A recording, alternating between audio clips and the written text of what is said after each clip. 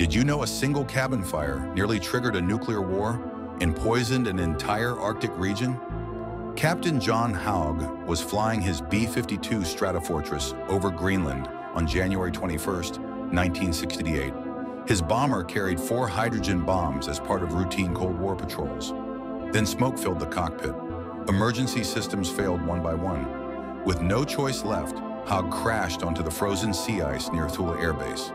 The impact scattered radioactive plutonium across 25 square miles of pristine Arctic wilderness. Military officials immediately began a massive cover-up, lying to Denmark about the nuclear weapons. Cleanup worker Robert McNamara and hundreds of others recovered bomb fragments without radiation protection. They shipped 1,700 tons of contaminated ice to South Carolina, but plutonium remained scattered everywhere. Local Inuit communities were never warned about the radiation poisoning their land. For decades, cancer clusters appeared while the incident stayed classified.